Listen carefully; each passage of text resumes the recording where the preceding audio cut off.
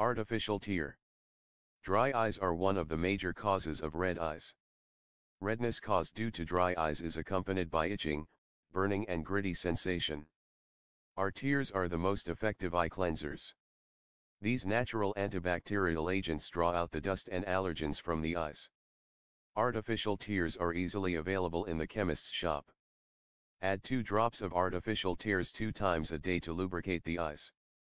You can also create your own saline solution by adding 1 teaspoon salt to 1 liter water. Do not use artificial tear more than 3 to 4 times a day as it contains preservatives that can harm the eyes. If the irritation persists for more than 2 days, then seek professional advice.